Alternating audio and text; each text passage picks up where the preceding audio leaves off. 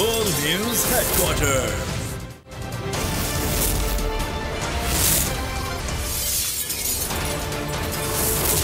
Full News Headquarters. अस्सलाम वालेकुम बोल न्यूज़ हेडक्वार्टर्स में खुश आमदीद। मैं हूँ राफे मिर्ज़ा। मैं हूँ आपके साथ रमशा साजिद। हेडलाइंस आपने जाने। टॉप स्टोरीज में आज आप जान सकेंगे। हॉलनाक ट्रैफ़िक हादसा। इमारत गिरने की वजह क्या?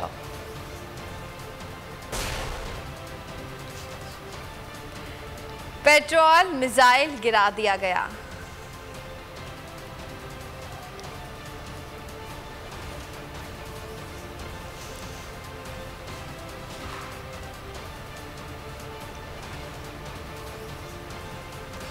अफसोसनाक खबर से बुलेटिन का आगाज़ करेंगे। ओश शरीफ मोटरवे पर बस और ऑयल टैंकर के दरमियान तसादम हुआ। डिप्टी कमिश्नर के मुताबिक हादसे में 20 अफराद जहाँ बहक हो गए। छः जख्मी हैं। तसादम के बायस ऑयल टैंकर में आग लगी। आग ने मुसाफिर बस को भी लपेट में ले लिया। लाहौर से कराची आने वाली बस में 24 से 25 मुसाफिर सवार थे। तर्जमान मोटरवे के मुताबिक rescue double one double two का अमला आग पर काबू पाने में मसरूफ़ है। ओश शरीफ से जलालपुर की तरफ़ मोटरवे को बंद कर दिया गया। अफसोसनाक खबर शाख खबर शामिल कर रहे हैं मुल्तान से, जहाँ पर ओश शरीफ मोटरवे पर बस और ऑयल टैंकर के दरमियान तसादम हुआ। डिप्टी कमिश्नर के मुताबिक हादसे में 20 अफराद जाँ बहक हो गए हैं। छः जख्मी तसादम के बायस ऑयल टैंकर में आग लगी। आग ने मुसाफिर बस को भी अपनी लपेट में ले लिया। लाहौर से कराची आने वाली बस में 24 से 25 मुसाफिर सवार थे। तर्जुमान मोटरवे के मुताबिक rescue double one double two का अमला आग पर काबू पाने में मसरूफ़ है। ओज शरीफ से जलालपुर की तरफ़ मोटरवे को बंद कर दिया गया है। आपको बता रहे हैं, अफसोसनाक वाक़ पेश आया है, ये हादसा पेश आया है। ओज शरीफ मोटरवे पर बस और ऑयल टैंकर के दरमियान तसादम हुआ। डिप्टी कमिश्नर के मुताबिक हादसे में 20 अफराद जान की बाजी हार गए। छः ज़ख्मी हैं जिन्हें अस्पताल मुंतकिल कर दिया गया है। तसादम के बायस ऑयल टैंकर में आग लगी। आग ने मुसाफिर बस को भी अपनी लपेट में ले लिया। अफसोसनाक वाक़ पेश आया ओ शरीफ के करीब, जहाँ पर बस और ऑयल टैंकर में तसादम हुआ। इस अलमनाक हादसे में 20 मुसाफिर जाँ बहक हो गए। तसादम के बाद ऑयल टैंकर और बस में आग भड़क उठी थी। तमाम हलाकतें जुलसने के बायस हुई हैं। इमदादी कार्रवाइयाँ जारी हैं। मोटरवे एम फाइव को जलालपुर, पीरवाला इंटरचेंज से झांगड़ा इंटरचेंज तक बंद कर दिया गया है। तासरा बस लाहौर से कराची आ रही थी। आपको अफसोसनाक खबर से आगाह कर रहे हैं मुल्तान में ओज शरीफ मोटरवे बस और ऑयल टैंकर में तसादम हुआ। अलमनाक हादसे में 20 मुसाफिर जान की बाजी हार गए। तमाम हलाकतें बताया जा रहा है कि झुलसने के बायस हुई हैं। इमदादी कार्रवाइयाँ जारी हैं। मोटरवे एम फाइव को जलालपुर, पीरवाला से पीरवाला से झांगड़ा इंटरचेंज तक ट्रैफ़िक के लिए बंद कर दिया गया है। मुल्तान में ओज शरीफ मोटरवे पर बस और ऑयल टैंकर में तसादम हुआ। अलमनाक हादसे में 20 मुसाफिर जाँ बहक हो गए।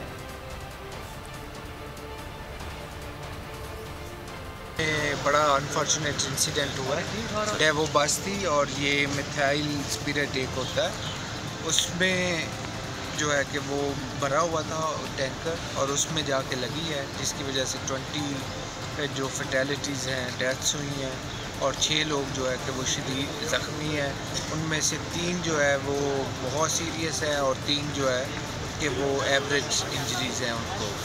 और रेस्क्यू ऑपरेशन जो है कि उसमें सारे इदारे बर वक्त पहुँच गए थे, लेकिन आग बहुत तेज़ थी, जिसकी शिद्दत से जो है कि नुकसान काफ़ी हुआ है। तो अब भी रेस्क्यू ऑपरेशन भी कंप्लीट हो चुका है। कराची के इलाके सुरजानी टाउन में जेर तमीर चार मंजिला इमारत गिर गई। मलबे से ग्यारह मजदूरों को जख्मी हालत में निकाल दिया गया है। मजीद मजदूरों की तलाश के लिए इमदादी कार्रवाइयाँ जारी हैं। जख्मियों को अब्बासी शहीद अस्पताल मुंतकिल कल मुंतकिल कर दिया गया।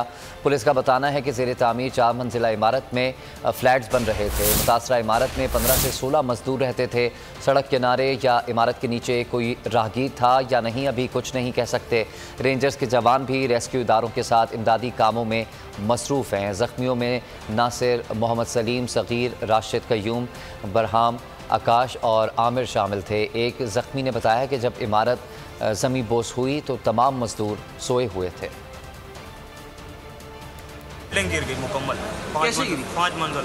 कैसे गिरी? और नीचे से कमज़ोर है बिल्डर ने ये खुद सरिया शरिया कम करके ना ये बचत करके ना ये बिल्डिंग ख़त्म कर तो कितने मजदूर थे क्या हुआ था? दस बारह मजदूर थे मिस्त्री भी थे। और अभी जो बिल्डिंग गिरी है उसमें नीचे भी कोई लोग थे दबे नीचे होंगे शायद होंगे अच्छा। क्योंकि उधर चौकीदार भी हैं मजदूर भी हैं मिस्त्री भी हैं।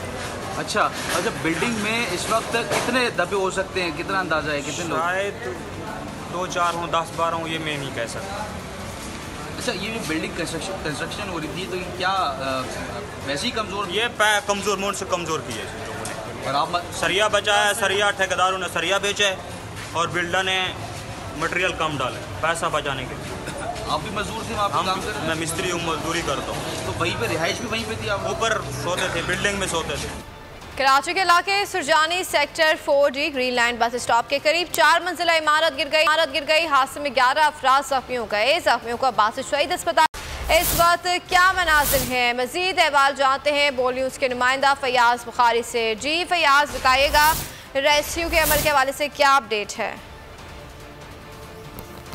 जी, बिल्कुल, एक अफसोसनाक वाक़ पेश आया रात गए, जिसमें सरजानी के इलाके सेक्टर फोर डी के अंदर ये एक इमारत जो कि ज़ेर तामीर थी, वो ज़मीन बोस हो गई। मेरे कैमरामैन अबरार, इस वक्त आपको अगर दिखा सके कि ये वो मनाजिर है, जहाँ पर पूरी तकरीबन 500 गज़ पर बनी ये इमारत जो है, वो ज़मीन बोस होकर रह गई। तकरीबन चार मंजिला इमारत बनाई जा रही थी और पाँचवा फ्लोर भी ऊपर तामीर किया जा रहा था। आसपास की जो इमारतें हैं, उसमें तीन मंजिलों की इजाज़त दी गई है, लेकिन जो है वो तकरीबन तमाम ही लोग जो है वो यहाँ पे उन्हें क्लियरेंस करार दे दी गई और गैर कानूनी तौर पर इस बिल्डर ने इमारत को बनाने का सिलसिला शुरू कर दिया और इस वक्त जो है वो आप देख सकते हैं कि हैवी मशीनरी जो है वो यहाँ पर मौजूद है जो कि मलबा उठाने में जो है वो कारामद साबित हो रही है, जबकि ये जो इमारत है जिसमें 11 लोग जो कि 11 मजदूर थे, वो यहाँ पर रिहाइश पजीर थे क्योंकि जो सुबह से रात तक उस इमारत के अंदर काम कर रहे थे, उसी को बिल्डर ने ये फैसिलिटी दी हुई थी और वो उसी की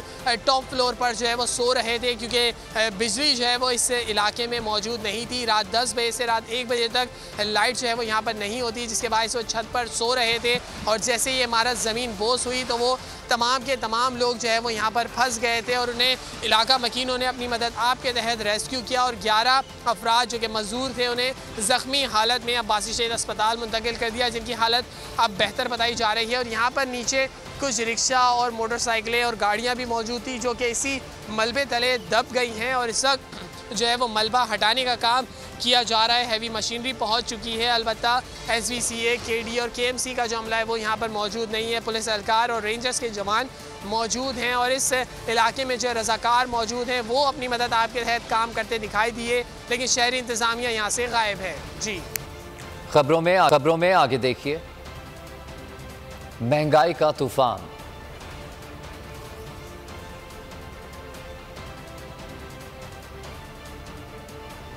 और बोल की खबर की तस्दीक। सिंध बिल्डिंग कंट्रोल अथॉरिटी की मुबैना नाअहली कराची बिल्डर्स माफिया के हवाले कोई पूछने वाला नहीं। सुरजानी में नाकिस मटीरियल और गैर कानूनी तरीके से बिल्डिंग तैयार होने से पहले ही गिर गई। सुरजानी में बिल्डिंग की तामीर के खिलाफ, बिल्डर के खिलाफ केल चल रहा था। शहरी मोहम्मद साबिर की जानब से सिंध हाईकोर्ट में केस जेर समात था।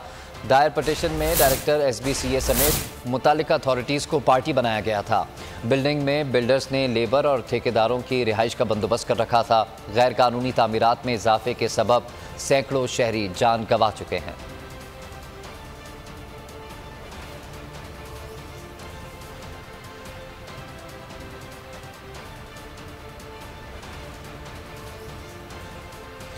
आगे बढ़ते हुए आपको बताएँ कि शहबाज हुकूमत का कारनामा आलमी मार्केट में तेल सस्ता, मगर पाकिस्तान में महँगा। वहाँ पर हुकूमत ने एक बार फिर पेट्रोल बम गिरा दिया। पेट्रोल की फ़ी लीटर कीमत छह रुपए बहत्तर पैसे का इजाफा कर दिया गया। नई कीमत दो सौ तैंतीस रुपए इक्यानवे पैसे फ़ी लीटर मुकर कर दी गई है। वजात है, वजात खजाना के अलामी के मुताबिक लाइट डीजल की कीमत में तैतालीस पैसे का इजाफा कर दिया गया। हाई स्पीड डीजल इक्यावन पैसे और मिट्टी के तेल की कीमत में एक रुपए सड़सठ पैसे की मामूली कमी कर दी गई।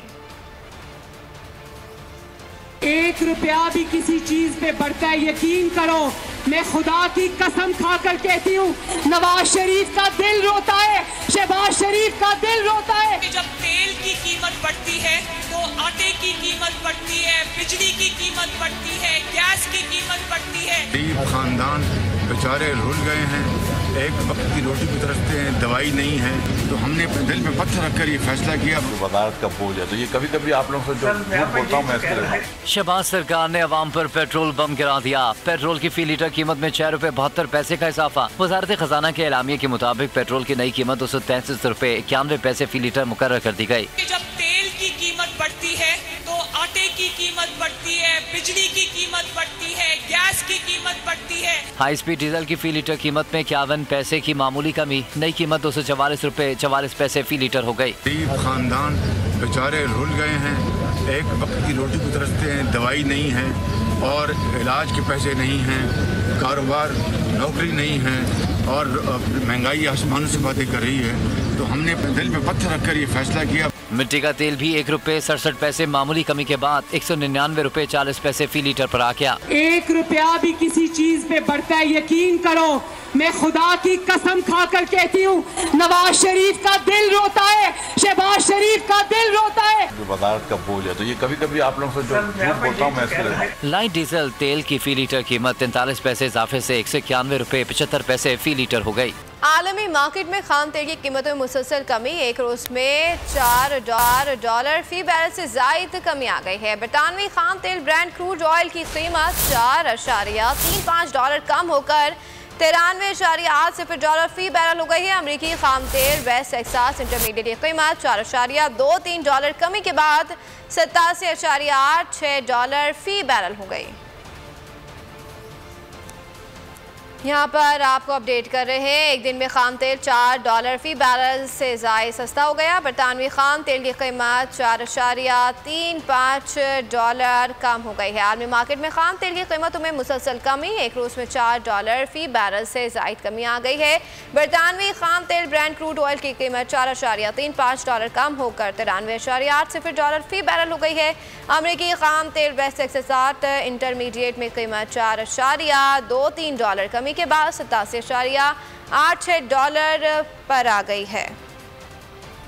आलमी मार्केट में तेल सस्ता, पाकिस्तान में महँगा हो रहा है। तहरीक इंसाफ का पेट्रोलियम मसवात कीमतों में इजाफे पर रद्द अमल। उमर आयूब कहते हैं कि इम्पोर्टेड हुकूमत में गंगा उल्टी बह रही है। आईएमएफ से मुहिदे पर तेल मजीद महँगा होगा। पेट्रोल की कीमत बढ़ने से बिजली की कीमत भी बढ़ेगी। वजारत खजाना टॉफियाँ बेच रहे हैं। हम अजहर बोले कि पूरी दुनिया पेट्रोल पर सब्सिडी दे रही है। इम्पोर्टेड हुकूमत रिलीफ के बजाय तेल महँगा कर रही है। बदकिस्मती के साथ इस इम्पोर्टेड हुकूमत में गंगा उल्टी बह रही है। बैन अवी दुनिया में आपने जिस तरह ज़िक्र किया कि तेल की कीमतें नीचे आ रही हैं, पर याद रहे और याद रहे कि ये इस हकूमत ने आई एम एफ़ के साथ जो कमिटमेंट की है, वो पचास रुपए फ़ी लीटर पेट्रोलियम डेवलपमेंट लेवी की की है। और ये बतदरीज ये कीमतें ज़्यादा बढ़ाते रहेंगे। गो के रुपए की कीमत नस्बता कम आई हुई है और वो भी बहुत कम अरसे की हुकूमत जो है, इसने सब्सिडी जहाँ एक तरफ़ विड्रॉ की तेल के ऊपर जो इमरान खान हुकूमत ने दी थी तो वहाँ इन्होंने तेल के ऊपर से टैक्स आम आवाम के ऊपर से वसूल करने का फैसला कर लिया है। क्योंकि ये अमीर लोगों के ऊपर से टैक्स कलेक्ट करने में नाकाम रहे हैं टैक्स नेट को ब्रॉडन करने में नाकाम रहे हैं। तो अब आम आदमी की सवारी जो है पेट्रोल और डीजल उसके ऊपर से ये टैक्स वसूल करेंगे। इन्होंने चार अरब डॉलर का तेल इंपोर्ट कर लिया जुलाई के महीने में। डबल और पीक कीमतों पे। उसकी वजह से इतना महँगा पेट्रोल मंगा लिया कि जब आलमी मार्केट में सस्ता भी हो गया है तो इनको पाकिस्तानियों के ऊपर रेट बढ़ाना पड़ गया। सब्सक्राइब करें और बेल दबाएँ ताकि कोई खबर रह न जाए।